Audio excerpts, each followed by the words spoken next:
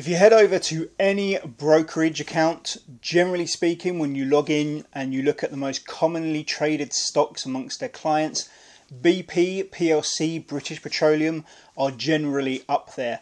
One of the most popular stocks in the FTSE 100. Uh, daily average volume of shares traded of 30 million shares a day. But are they a good long term investment? And how do they fare on the leaderboard?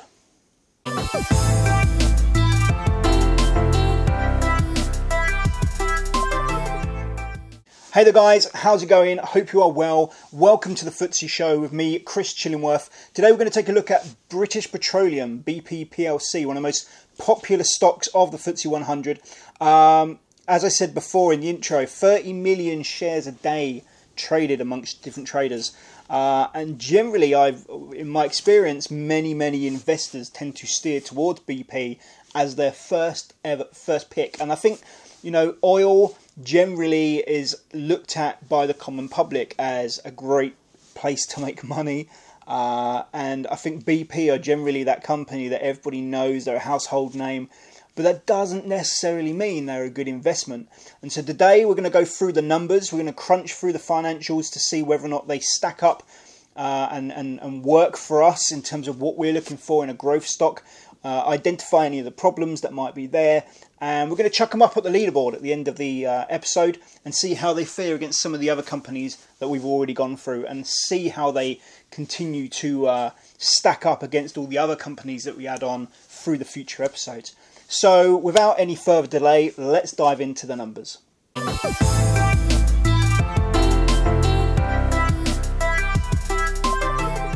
Okay, so let's dive into the numbers of BP PLC then. So Epic code is BP dot. Uh, they're in the FTSE 100, one of the biggest companies, UK companies in the FTSE, uh, and they're in the oil, gas, and coal sector. Uh, so first of all, we're going to look at turnover. So as you can see from the numbers here, turnover has been pretty much flat, if not down. Uh, back in 2008, we're looking at 361 billion in revenue. So this is a huge company compared to, te- you know, any any other company in the FTSE. Essentially, uh, there's only a handful that are as big as BP. BP are a giant, and uh, yeah, 361 billion in revenue in 2008. Only 298 billion 10 years later in 2018. Now you can see there's been a bit of a roller coaster ride, but really we haven't been uh, at any stage above 370 odd billion, right? So that's the kind of peak that they've had, and uh, we we saw that kind of between 2008, 2012, 2013, sorry, and then it started to kind of tailor off, and even 2016 here uh, was down to 183 billion, and it started to make its way back up over the last three years. Uh, but when we take the whole 10 year uh, progress into account, they still haven't reached the point that they were at back in 2008 in terms of revenue. And so, uh, trend wise, we're down. So, revenue has gone down over the last 10 years, which is not indicative, not the kind of signals we're looking for in terms of a growth stock. So, first of all, that's a negative. We can look at cost of sales. Cost of sales uh, back in 2008 was 266 billion. Uh, we're now looking at 229 billion, so that has gone down.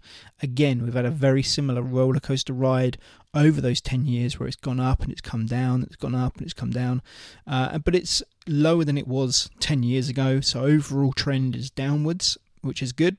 Um, uh, the real way to kind of measure the two of those, though, i.e., the revenue that comes in and the cost of the sales, the cost of, of what they do, uh, is the uh, the gross margin or the gross profit essentially, and what percentage does that represent of the revenue? Okay, so in other words, what slice of the pie are they keeping at this early stage with still some deductions to come and, and costs to come out of it? What's the slice of the pie that they're starting with? Back in 2008, that was a 26.1% slice of the pie. Now it's only a 23.1% slice of the pie. So that has gone down again, like the the story of BP, it's been a roller coaster ride across that 10 year period. It's been up, it's been down along the way, but overall, the trend is down. The, the margin that, that they're keeping is less today than it was back then. So, not only has the revenue gone down, but the slice of the pie that they're keeping of the revenue is lower as well. So that's a double whammy. It's, it's you know again, it's not what we're looking for. We're looking for the opposite of that. We want to see growth in revenue. We want to see growth in the gross margin in the in the slice of the pie that they're keeping. Um, so gross profit, for example, in 2008 was 94 billion. In 2018, their gross profit is 68 billion. So sure, last three years it's been up, but it's still lower than it was 10 years ago and that's going to have an impact on the share price. I can assure you. When we look at the chart in a moment, you're going to see uh, the impact that that's going to have on the share price.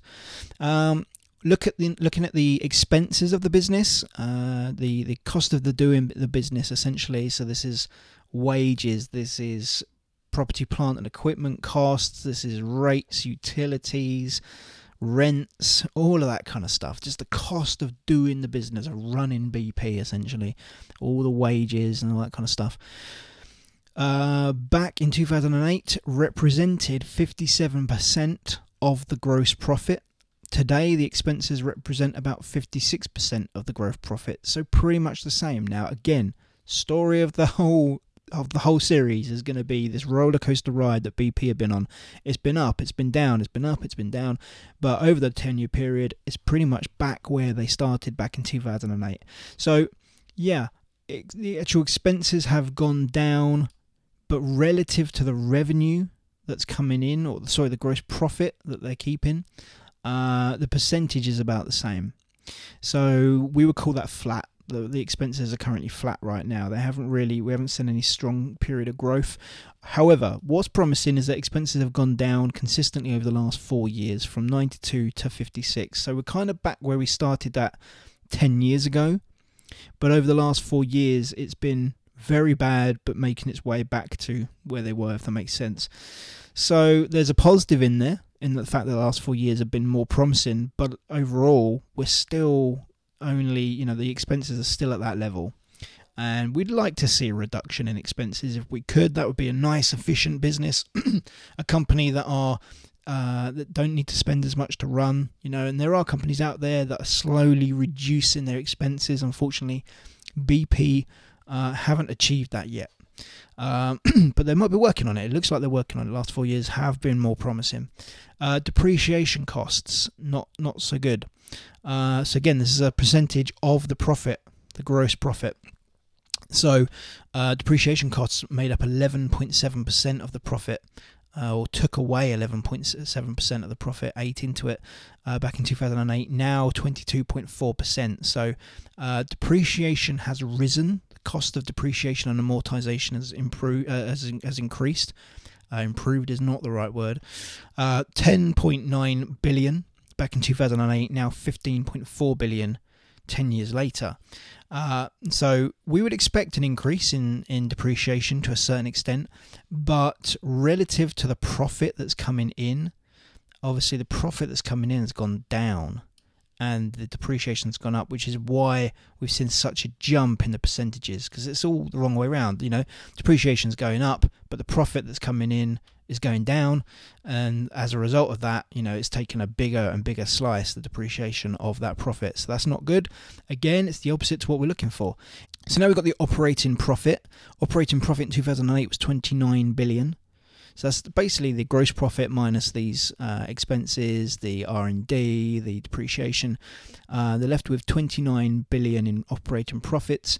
Uh, 10 years later, we're looking at 14.3 billion. So it's a massive drop, a massive drop. And we've had, actually had losing years in here as well, quite a few of them. Uh, there's three different losing years there.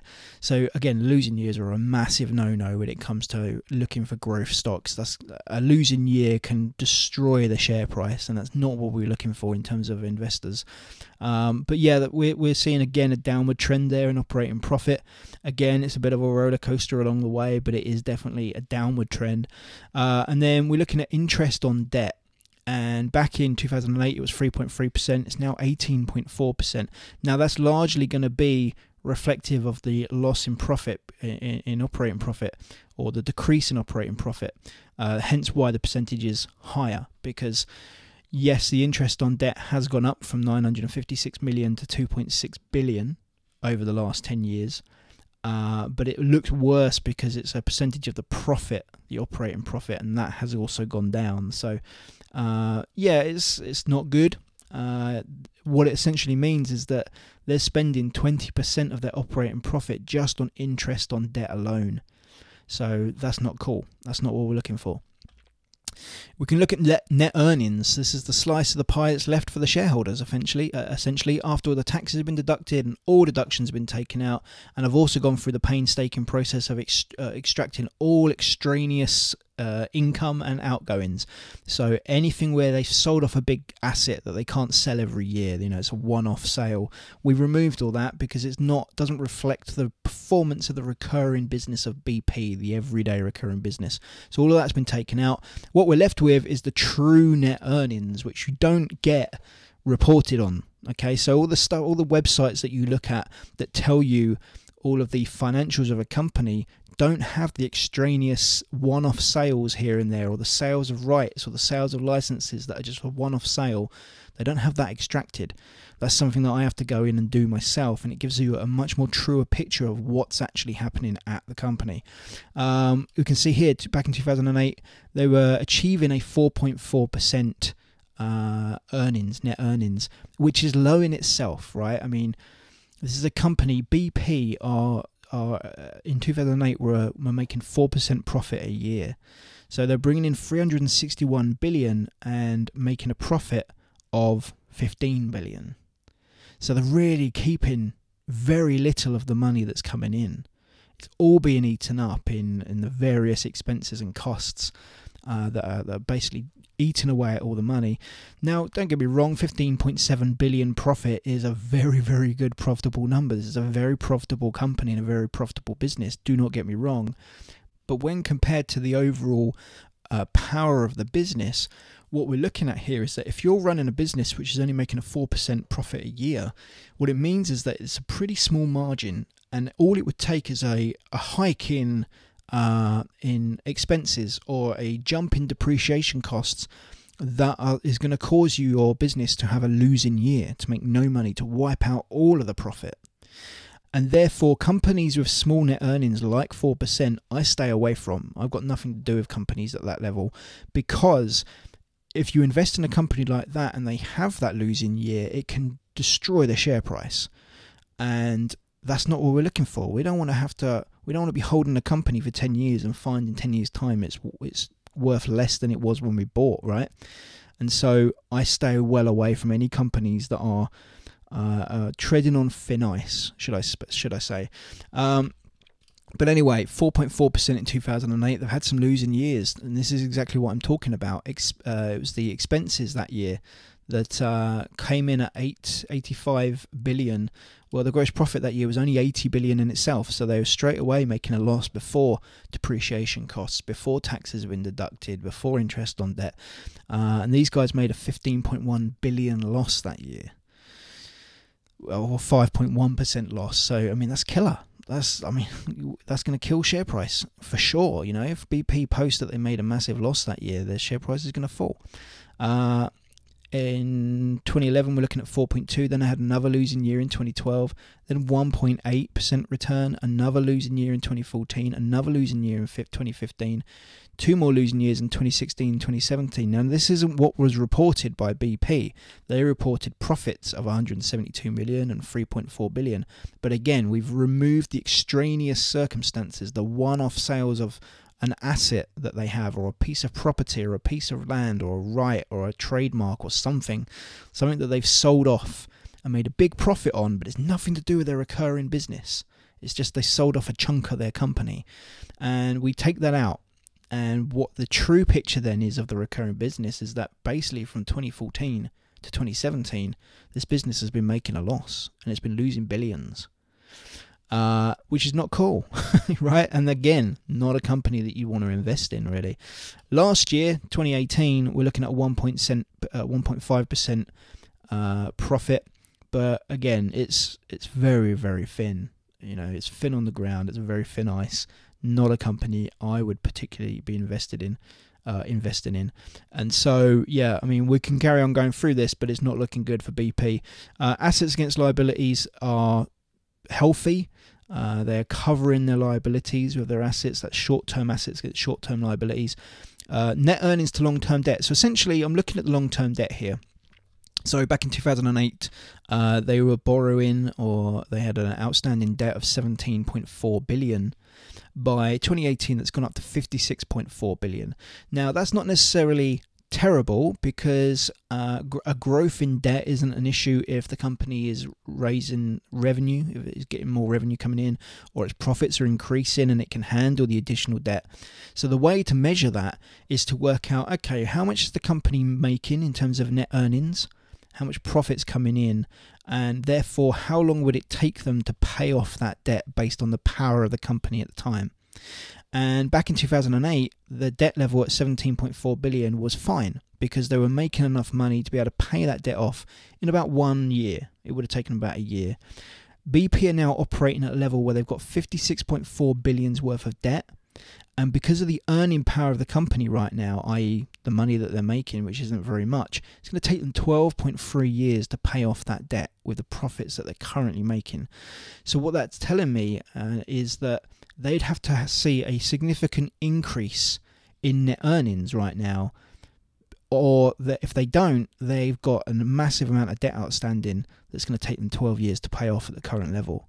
That's not good that's too much. That means they are kind of biting off more than they can chew, and that's something that I'm not interested in. What it's going to do is it's going to increase the interest on debt, for example, which is something we've seen happening here.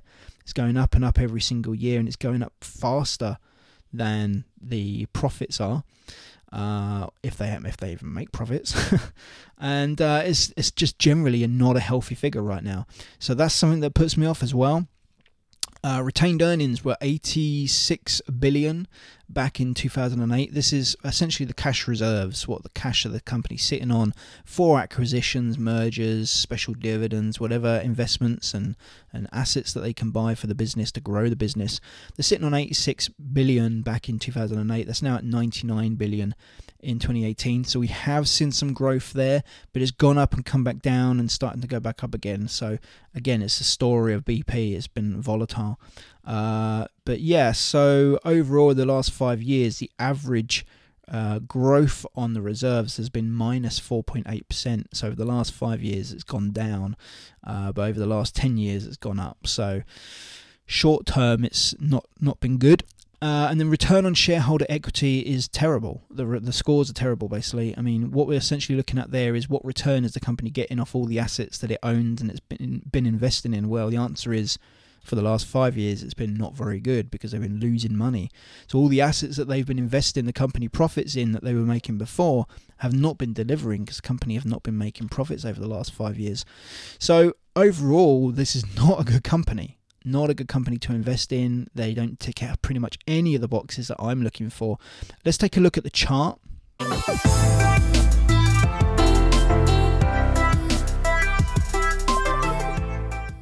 Okay, so looking at the chart here, we're going from 2008 to present day essentially. Let me just squeeze that in a bit. So back in 2008, we were sitting at a share price of between five and highs of six pounds a share. This was 10 years ago in 2008. Today, we're looking at £4.97 a share. So, I mean, essentially, we're at, we're, if not down, we're at the same price we were at 10 years ago with BP. That's not what we're looking for. We, this is not the chart of a company that I would be excited about as a growth investor. If I had invested in BP 10 years ago at five, six pound a share, and today it's worth four pound ninety seven, that's a disaster. That's 10 years of the share price being lower than it was when I got in. So, I mean, there has been little, there's been one little spike here in 2010, but after 2010, obviously the losing years came in, and it's just decimated the share price. And again, it's a roller coaster. You can see that the figures that we've looked at just now represent this chart. You know, we can see the, the, the drops in share price when the results came out and the, the losing years are very very obvious here and it's it does it's not a pretty picture and it's not what we're looking for uh, more interestingly I think if we go back all the way to uh, 1999 so we're looking at over 20 years ago This company were trading at five pounds. Uh, let me just see, five pounds eighty, five pound fifty. So 20 years ago, the share price was higher on BP. That means that if you invested in BP 20 years ago, you're still waiting for your trades to be in profit. That's terrible. And this is indicative of a company that does not meet the criteria that I've been looking for in the numbers when they don't meet the criteria, this is the kind of chart you can expect to see. These are the kind of performance you can expect to see, certainly over the last 10 years that we've analysed in terms of the figures. When we find a company that are smashing all the criteria and they are meeting the grade, we see a very, very different chart, and you'll see that when we get better companies that we look at. But yeah, this this doesn't look good. Um, so with that, we've looked at the numbers, we've looked at the chart. Let's head over now to the leaderboard and see where BP fit in.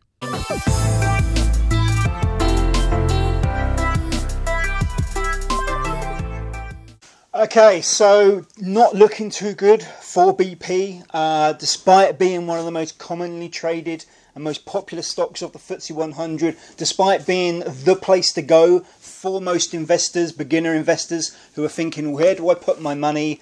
Uh, how do I get started? let's look through the companies. BP, I've heard of BP. Uh, they're in oil. There's always money in oil. Let's pump our money into that. Uh, generally speaking, as we saw before, BP's share price hasn't moved in a long time. And uh, let's have a look and see then how they appeared and how they fared on the leaderboard. Um, very surprisingly, they sit seventh at the, at the moment on the leaderboard there's not going to be many companies worse than that. I mean, I, I, I, will be probably, but minus 48 is pretty bad. Not a company we're going to want to invest in. Uh, there will be companies worse than that. I've I've already gone through some companies and seen worse scores than minus 48. But bear in mind, we're looking for the glowing plus 100 in the score for companies that we would be looking to invest in. I'm going nowhere near BP PLC. Hey there, guys. Just before you go, if you've been enjoying the FTSE show so far, you're enjoying the stuff that we're putting out there, it would be awesome if you could give the thumbs up on the video. That helps with the YouTube algorithm, gives the video more likes, that sort of thing. Uh, it means more people get to, to see the video in their suggested videos list and all that kind of stuff. Thank you so much for tuning in and being a supporter of the show, and I'll hopefully see you in the next episode. Cheers, guys.